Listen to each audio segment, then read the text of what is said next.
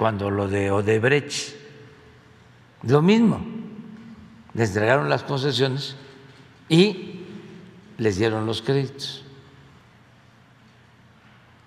Pues esta empresa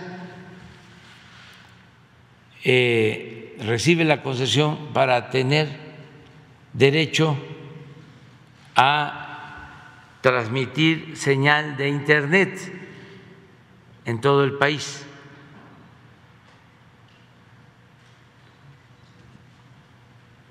Y empiezan a tener dificultades financieras y tienen eh, compromisos con otras empresas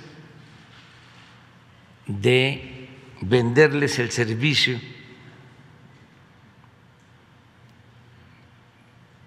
de telecomunicaciones. Es una asociación. Y también es una red que ya tiene un alcance del 70 por ciento a nivel nacional. Y nosotros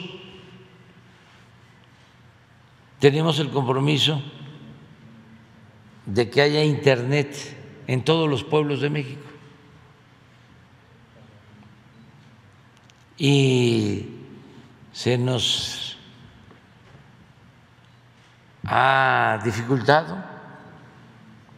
porque no hay la infraestructura suficiente. No la hay, pero está abandonada, la fibra óptica, hacen falta antenas.